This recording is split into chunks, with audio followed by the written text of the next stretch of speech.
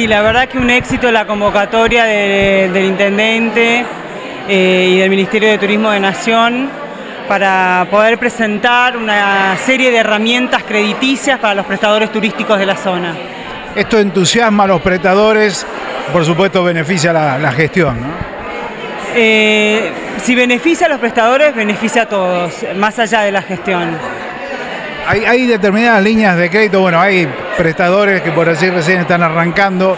Esta es una comarca relativamente joven y recién consultábamos con los funcionarios nacionales respecto a los aspectos burocráticos que por allí los prestadores chocan para poder acceder a una línea de crédito.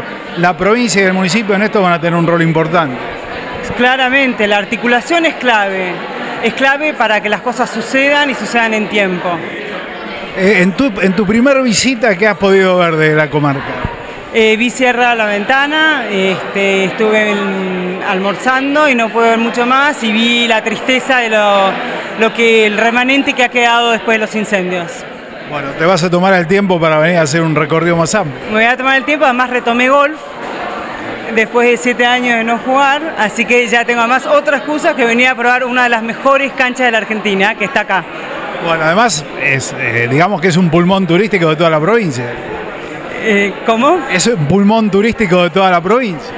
Es un pulmón turístico de toda la provincia. Es una provincia mm, además muy diversa, eh, con una riqueza natural difícil a veces de definir, porque no hay un eje identificador más que la diversidad.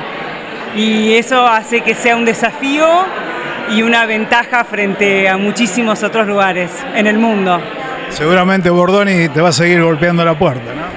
Es un placer trabajar con Bordón y estamos para servir.